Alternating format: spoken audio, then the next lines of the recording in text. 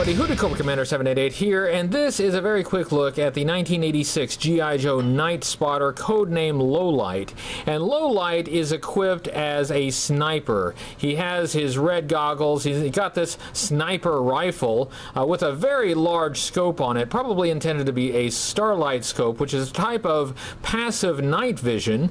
And his uh, sniper rifle came with a bipod, a very small bipod that attached right here. I don't have that bipod. Now, I will eventually get that bipod before I do the full review. I could pick one up pretty easily. I do see them around. It just hasn't been a priority for me. There have been some other items that have uh, been a little bit more important to me that I've been hunting right now. So I, I will eventually get that bipod. I'll probably do that soon. He came with uh, other uh, interesting accessories. He came with a submachine gun that looks like it's based on an Uzi.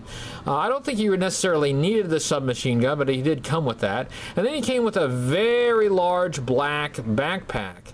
And uh, this figure, I think, overall is very nice looking. Uh, he's wearing some nice subdued colors for operating at night in this uh, dark gray suit. And the uniform itself has a lot of nice details.